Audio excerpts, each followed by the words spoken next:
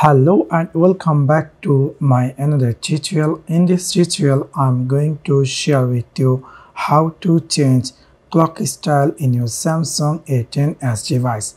So let's take a look how to do that.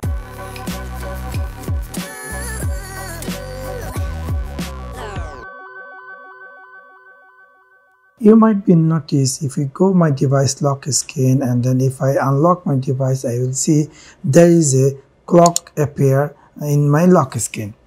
It's kind of boring maybe you want to change this clock style to another clock style. You can do so. For that you have to go on your device settings section and then go on your device uh, like lock screen and here you will find clock style.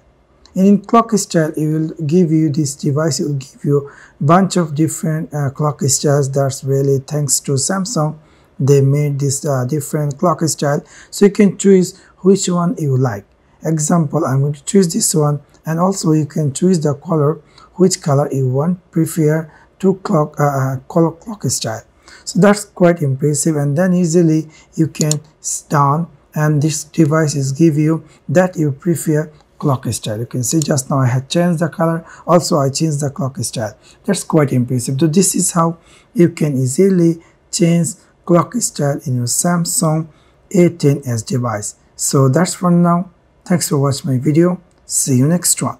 Peace.